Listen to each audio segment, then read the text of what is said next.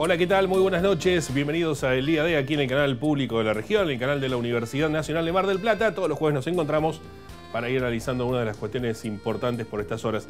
Eh, justamente por estas horas lo importante tiene que ver con todo el proceso electoral, ¿no? con lo que se está viviendo estos últimos días en la Argentina, por supuesto en la provincia y particularmente en la ciudad de Mar del Plata, o el partido de General Pueyrredón, Mar del Plata Batán, en el cual tenemos mucho para comentar y mucho para hablar porque han ocurrido algunas cuestiones en los últimos días aquí en la universidad, así que eso estaremos hablando. Pero antes de comenzar, presentemos nuestros auspiciantes.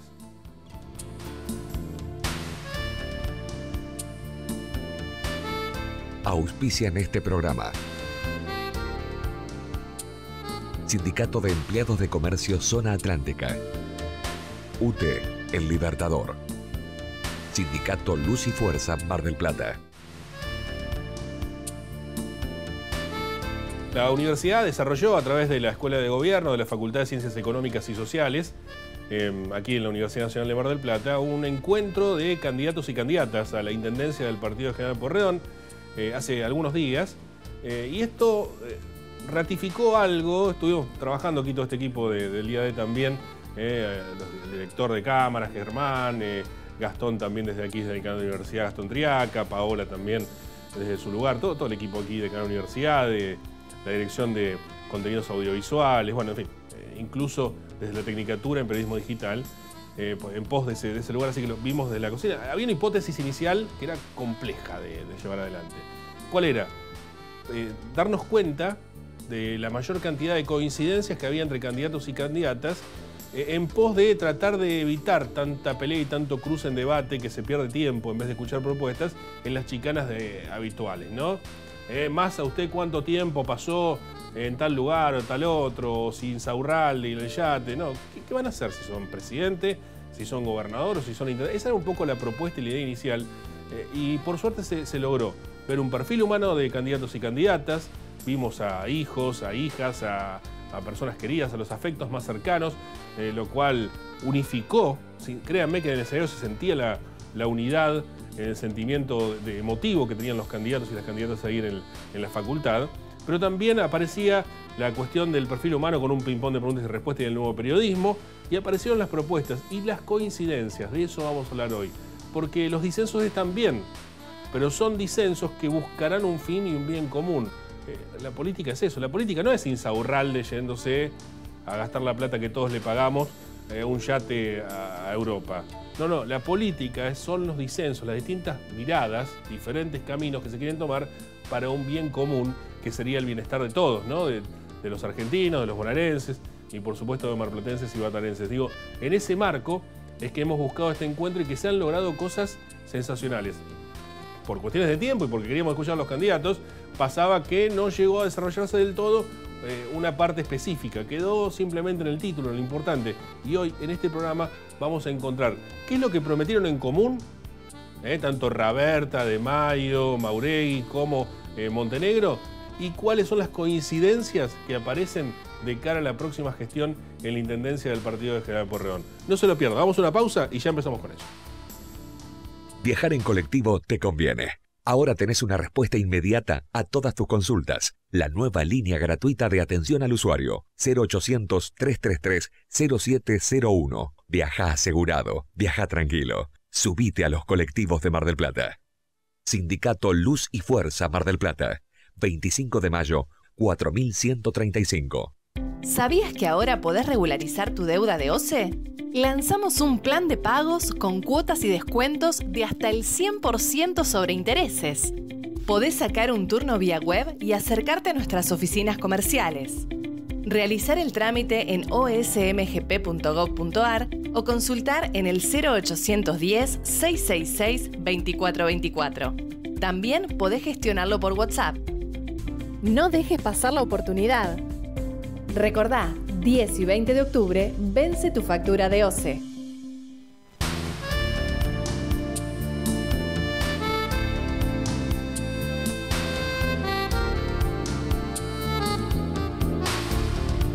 Lo decía, ¿no? Un encuentro satisfactorio, con realmente muy buenas repercusiones lo, lo, que hemos vivido en la Universidad Nacional de Mar del Plata días atrás con respecto al encuentro ¿eh? de candidatos y candidatas rumbo a la intendencia del partido de General Porredón.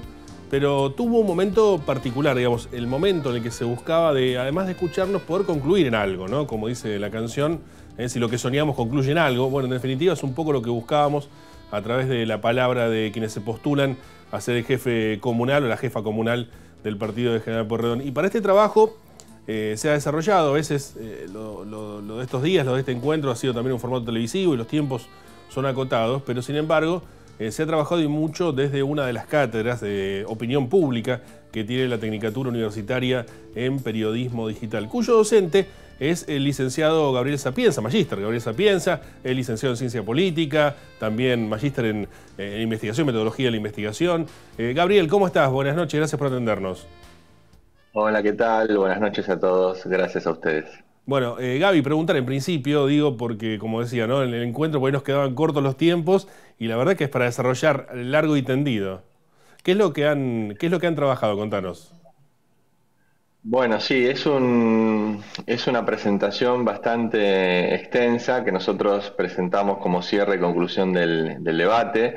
Eh, justamente aclarando esto que vos mencionabas recién, Nicolás, que se buscó tanto en, el, en, el, evento mm, no tener la lógica de debate, sino de diálogo, de puntos de encuentro, y nosotros desde el trabajo de, investigación que hicimos en la cátedra también buscamos esos puntos de encuentro a partir de eh, dos, dos propuestas. La primera fue buscar todas las propuestas de los candidatos eh, realizadas mediáticamente en entrevistas eh, radiales y en, el primer debate que se hizo en la ciudad, en, la escuela, el Colegio Hidra y también en, en, la televisión, uno de los canales de televisión.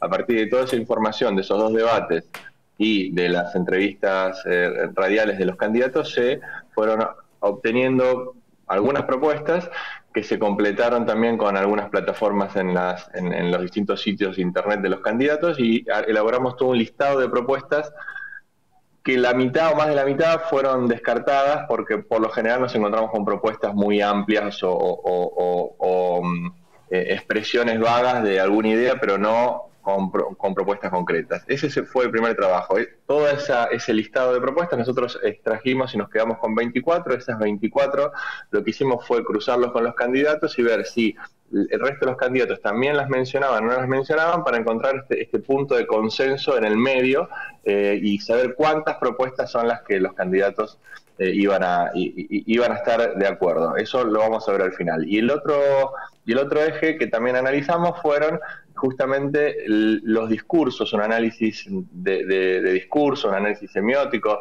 de, los ejes de campaña, qué mencionan los candidatos, dónde hacen énfasis, dónde hacen menos énfasis, como para construir unas nubes de palabras que nos permita entender de qué hablan los candidatos y a quiénes le están hablando. Ese es un trabajo que se hizo desde la cátedra con los estudiantes, un trabajo práctico, lo tomaron ellos como, eh, recogieron el guante cuando se les hizo esta propuesta en muy poco tiempo.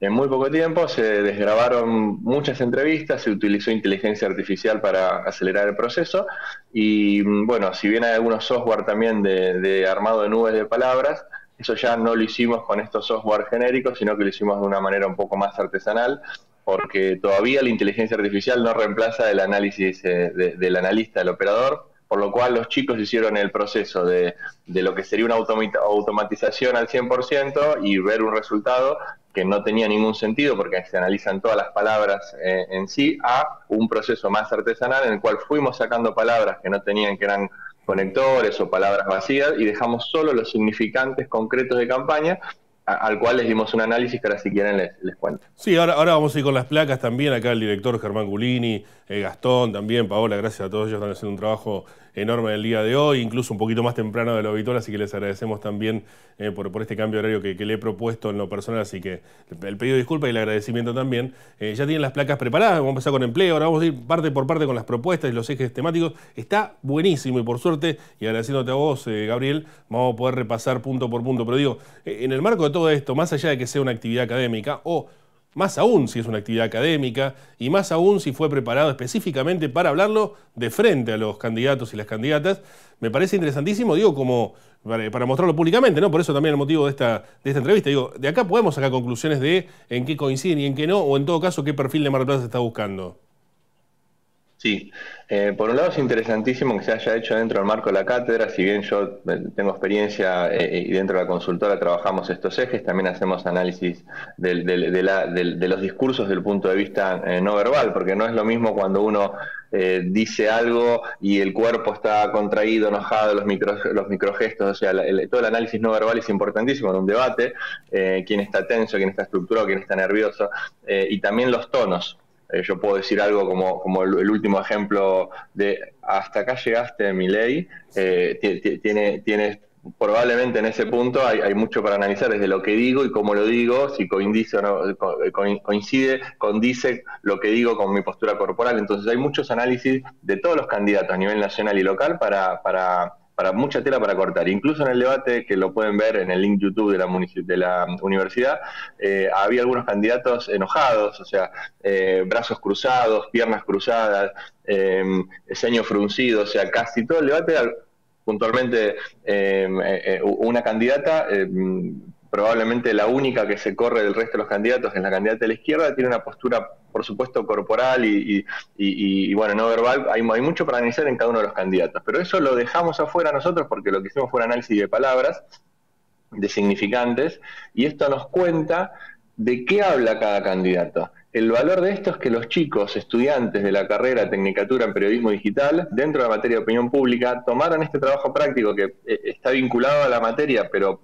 podrían eh, haber preferido leer una bibliografía, preparar algo eh, interno y, se, se propusieron realmente trabajar mucho, trabajamos mucho y bueno, llegamos a este debate donde pudimos presentarlo delante de los candidatos, incluso una intervención pequeña de mi parte, pero yo creo que pudimos a los candidatos reflejarles que cada uno de lo que estaba hablando. Yo les puedo asegurar incluso a ustedes, a, los televidentes, que ahora escuchen o que vean las nubes de palabras, estoy casi seguro que el 95% de lo que los candidatos vienen hablando está representado en esas nubes de palabras.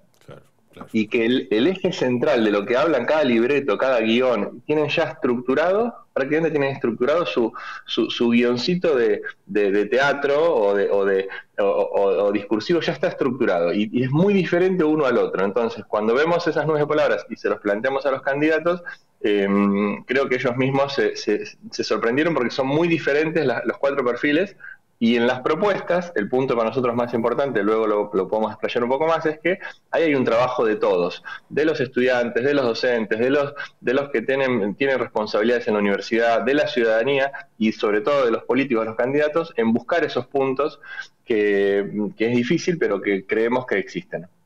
Vamos a empezar a repasar, ¿te parece este, este, trabajo del que estamos hablando, que es tan interesante y tan importante conocerlo también, porque nos ayuda ¿no? a ver un poco de lo que se ha vivido en esta campaña electoral que se está viendo en el marco de estas elecciones 2023. Eh, Arrancamos entonces, Germán, eh, nuestro director le pido, ahí estamos, primer eje, el que he analizado es el eje de salud. Eh, Gabriel. Bien, bueno, en, las propuestas, como les decía anteriormente, había muchísimas, eh, entre comillas, mm, ideas eh, amplias y solo nos pudimos quedar con 24. Fue el trabajo, uno de los más difíciles fue encontrarlas eh, en concreto y, con, y con la acción. Por ejemplo, crear un nuevo hospital municipal em, que tenga que ver con lo, con, con lo municipal directo, ¿no? Porque después había algunas propuestas que ya tienen que ver con una articulación con provincia o con nación, entonces pueden ser propuestas, pero quedan más a, una lógica que no depende del propio intendente. Ahora, ¿qué depende del propio intendente, intendente en salud? Crear un nuevo hospital municipal, finalizar el hospitalito en Batán, aumentar el número de centros de salud, 24 horas, porque hay algunos, pero lo que detectamos también es que no están abiertos 24 horas algunos.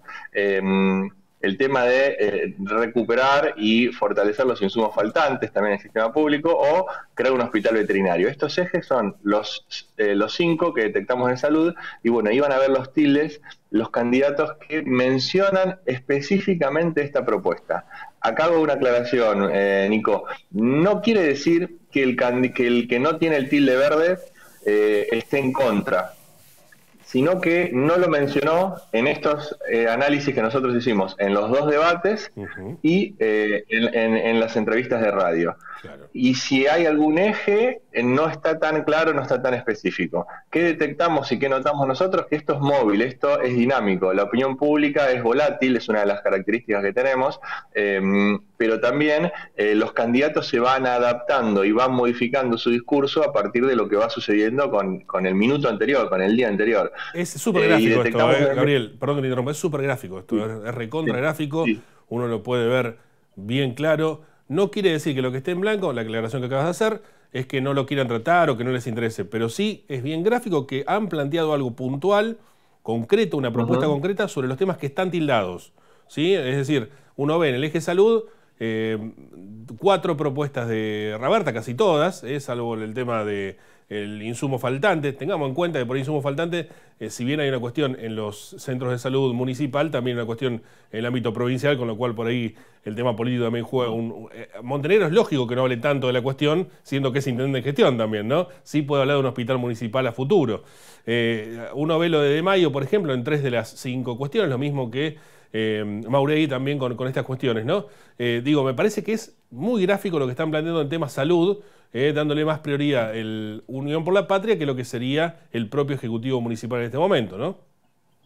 Sí, sí, esto, esto es gráfico y acá lo que nos interpela a nosotros como, como eh, profesores, eh, em, universitarios y como ciudadanía, es que sea el candidato que sea, sea el político que sea, a, nosotros nos gustaría que todos los candidatos coincidan en las cosas que son necesarias. O sea, yo creo que si hacemos esto, lo llevamos a una etapa 2 que lo tenemos previsto en la cátedra, que es hacer una encuesta, el 80, el 90% de la ciudadanía está de acuerdo en estos ejes, en un nuevo hospitalito. O sea, entonces, si nosotros, sea que el que sea el candidato eh, es, eh, actual, oficialista, el, el, ejecutivo actual o candidatos de la oposición, creo que podemos hacer este esfuerzo y este trabajo para coincidir. De hecho, en el debate, y lo vamos a ver en otro de los ejes, eh, empezaron a coincidir coincidir sobre, sobre transporte, ahora lo veremos, pero empezaron a coincidir empezaron a coincidir todos. Entonces, tal vez no está en sus plataformas escritas, concretas, de propuestas, pero en, desde un diagnóstico, de una expresión de deseo está. Si está esa parte, yo creo que podemos hacer un paso más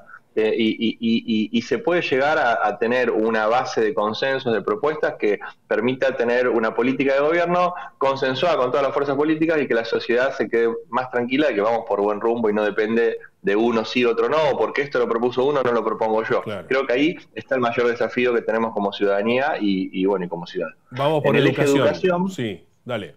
Eje educación, eh, bueno, crear nuevas escuelas municipales, Em, el, tema de la nutrición, o sea, realmente mejorar la nutrición saludable dentro de los establecimientos, eh, achicar la brecha digital. Este, esta es una propuesta que dudamos en dejarla o no, porque em, lo mismo, ¿cómo, ¿cómo se achica una brecha digital? O sea, que queda, esta, propuesta quedó en el límite de decir, bueno, es una expresión de deseo. Para, para que esto sea concreto, tendremos que decir que todos los establecimientos tengan conexión Wi-Fi, que todos los establecimientos tengan dispositivos móviles para los alumnos dentro de las cátedras, cinco dispositivos o 10 o 20, o sea, pero bueno, eh, realmente nos pareció un, tema importante y en el caso eh, de, casi todos los candidatos, menos uno, estuvieron, estuvieron hablando este tema. Eh, y bueno, la reinserción escolar, que acá lo mismo, el, siempre los, los, candidatos que no tienen el tilde no quiere decir que no estén de acuerdo, sino que no lo han dicho claramente en sus campañas. Pero acá podemos ver también un mapa similar.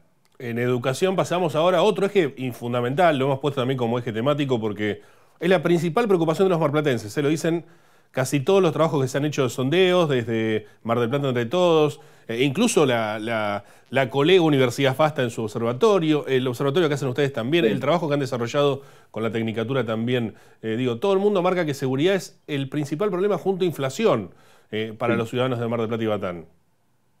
Sí, sí, tal cual. Eh, esos son los, principales problemas. Los vamos a ver en las nubes de palabras pues rápidamente, que son justamente los ejes, los significantes que aparecen en mayor cantidad, o sea, una dimensión más grande. Acá puntualmente eh, hay un eje concreto de campaña del, intendente actual, eh, basado en el, hecho de que regresen la gendarmería que él justamente menciona que cuando empezó su gestión se retiraron las fuerzas de, gendarmería de la ciudad, unos 600, 600 gendarmes. Y bueno, después el tema de la policía local ahí coinciden reactivar la, policía local, el Roberta y, De Mayo. Después sobre las cámaras de vigilancia del COM, aumentar la, cantidad de cámaras y el presupuesto del COM, coinciden todos. Acá menos la izquierda, eh, la, izquierda em, y Mauregui hacen otro diagnóstico del tema seguridad que después lo podemos ver en las nubes de palabras. Y bueno, eh, videovigilancia en el transporte público es una de las propuestas de Fernanda Roberta. Bueno, muy bien, pasamos a la economía, vaya tema. Hay muchos temas ¿no? que están, los tres últimos, ¿no? Seguridad, fíjate vos cómo juegan con provincia y con nación todo el tiempo por el tema, por ejemplo, de gendarmería. Eh, no es que Montenegro sacó la gendarmería, no, el gobierno nacional le sacó gendarmería y es lo que está reclamando. Eh, aparece el reclamo político del tira de afloje con provincia y nación. En educación, si viene de un sistema municipal muy fuerte, la reinserción escolar tiene que ver con muchos factores que tienen más que ver con provincia y con nación que con lo municipal. Y la economía, bueno, hay un eje fundamental también que está de, mucho más ligado aún con lo que ocurra en, otras esferas, ¿no? Sí, tal cual. Eh, economía mm, es un eje que nos costó bastante encontrar también una, propuesta muy concreta, porque obviamente sí generar empleo, eh, generar oportunidades de trabajo, pero en concreto encontramos la parte de la extracción petrolera offshore, en la cual eh, se han expresado los candidatos de, Unión por la Patria y, del, y de la Libertad Avanza.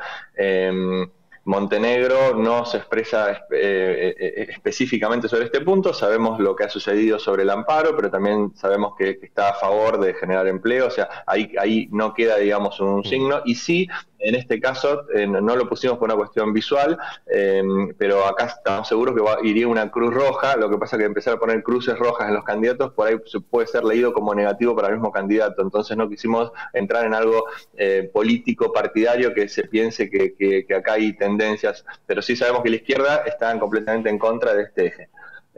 después sector portuario, la, inversión, o sea, incentivar la inversión en el sector portuario, coinciden casi todos los candidatos, y eh, beneficios impositivos a las empresas, lo menciona Montenegro, em, y después en el debate, bueno, también es algo que estuvo mencionando el candidato de la Libertad Avanza. Infraestructura, acá...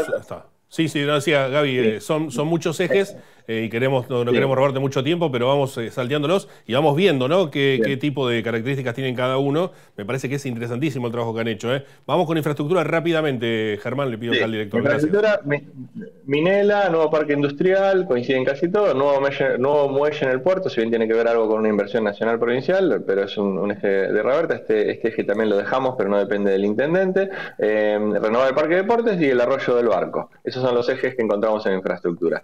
Y en transporte, bueno, acá la única empresa estatal de creación de una única empresa estatal es un eje que, habla a la izquierda fuertemente, reducir el costo del boleto habla a la izquierda, luego el resto de los candidatos estuvieron de acuerdo con esto, pero hasta ese momento no lo, no lo dejaron eh, explícito. En el, encuentro, en el encuentro marcaron una coincidencia absoluta en el diagnóstico y están todos de acuerdo que algo hay que hacer, así que evidentemente Mar del Plata un nuevo transporte va a tener eh, a partir de la próxima gestión, sea quien fuere que gane la elección, ¿no? Sí, y que un candidato empiece a hacer eje en esto y que se vea tan gráficamente va a hacer que los demás vayan atrás de esto también, porque hay, teorías psicológicas del tren del triunfo, o sea, si la opinión pública está a favor de esto y queda gráficamente puesto, bueno, el resto de los candidatos se sube también a eso porque no quiere perderse ese tren que pasa, entonces hay algunas teorías.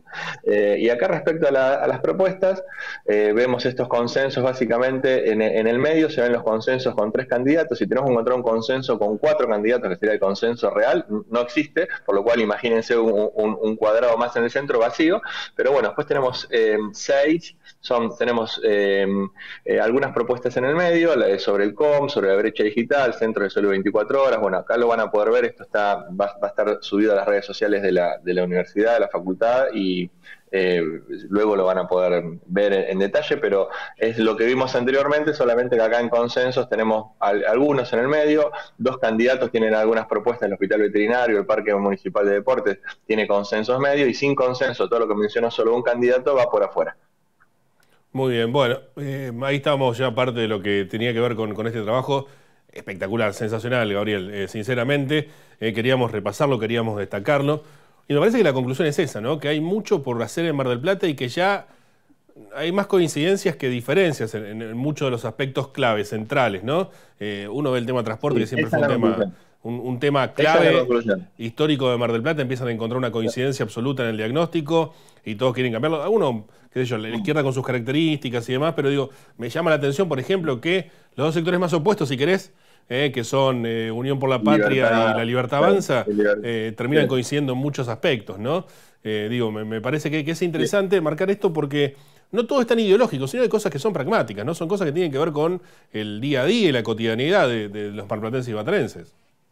Un, par de aclaraciones. A nivel local, si esto lo tenemos que llevar a nivel eh, nacional, yo creo que ya como sí se pueden generar políticas estructurales, ahí las diferencias están mucho más marcadas. Ahora, a nivel local de gestión del intendente hay más coincidencias que diferencias, es la primera conclusión, aunque no querramos verlo porque como electores estamos buscando la lógica de confrontación, de, diferencia, bueno, eh, y también los mismos candidatos están acostumbrados a esta dinámica. Entonces, creo que esa es la primera conclusión, hay más coincidencias que diferencias, eh, y se pueden, las diferencias diferencias que existen tal vez no son tales, sino que falta trabajo de consenso, diálogo y armar un plan en común entre todos los candidatos. Creo que eh, esa sería la conclusión principal. La otra es que hay pocas propuestas específicas y más que nada se hablan de cuestiones de, de, deseo o declarativas o abstractas. Entonces el otro trabajo que tienen que hacer los equipos técnicos y todos nosotros es, bueno, pero en concreto, ¿qué sería? ¿Qué haríamos a partir de tal fecha?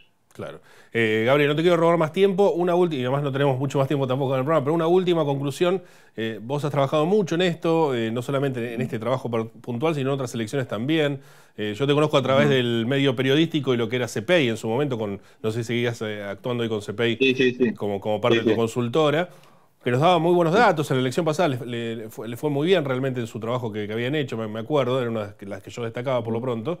Eh, digo, ¿cómo estás viendo este, este panorama brevemente? no Sé que, es extenso, pero brevemente, este panorama a nivel general. Digo, eh, es una elección particular, ¿no? En la que estamos viendo. Sí, sí, esta elección realmente eh, mm, es eh, diferente a las anteriores. Acá el voto eh, pasa en un 95% por una cuestión emocional de, enojo o, de, o de amor, de amores o de odios. Es un voto muy, muy eh, muy difícil de medir porque justamente eh, esto, esto tiene que ver por, con cuestiones más cualitativas, pero es lo que ya sabemos todos, a nivel nacional el, escenario de los tres tercios, eh, a, nivel, a nivel local no va a estar muy, muy alejado de lo que pasó en las pasos. Em, están ya las cartas em, sobre la mesa y bueno, em, no, no, no, tengo mucho más para aportar. En esta, en esta elección puntual no hemos hecho mediciones, las anteriores sí, porque siempre somos una consultora independiente y medimos con nuestra cuenta, pero eso requiere mucho presupuesto y para hacer una medición concreta, específica, hubiésemos tenido que destinar mucho, mucho presupuesto a hacer algo con un muestreo serio. Esta elección no lo hicimos, así que los datos que tengo son los de la percepción de opinión pública, de, igual que ustedes, de lectura de medios. Seguro. Gabriel, gracias por estos minutos. Un abrazo grande. Gracias a ustedes. Y cuando quieran, les recomiendo a todos que vean también las nubes de palabras, que ahí ya se ve un poco por dónde pasa el discurso de cada candidato. Seguro. Gracias, Gabriel. Un abrazo, ¿eh? Gracias. A ustedes. Chau, chau. Gabriel Sapienza, eh, licenciado en ciencias, en ciencias políticas perdón, y a la vez eh, también es magíster eh, en metodología de la investigación, referente de la consultora CPI, docente de la Universidad Nacional de Mar del Plata. Bueno, en definitiva, ¿no? una persona con muchísimo conocimiento y trabajo en esta cuestión y un trabajo excepcional que han hecho a partir de lo que hemos vivido en el encuentro de candidatas y candidatos, tiempo de diálogo que se ha dado aquí en la Universidad Nacional de Mar del Plata. Nosotros no tenemos más tiempo, los esperamos el próximo jueves aquí en el Canal Público de la Región, canal de la Universidad Nacional de Mar del Plata. Que tengan una muy buena noche y será hasta la próxima. Gracias, chao.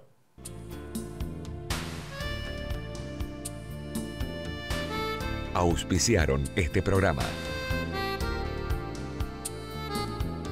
Sindicato de Empleados de Comercio Zona Atlántica. UTE, El Libertador. Sindicato Luz y Fuerza Mar del Plata.